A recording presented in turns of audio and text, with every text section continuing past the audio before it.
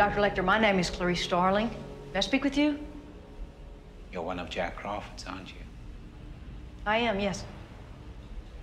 May I see your credentials? Certainly.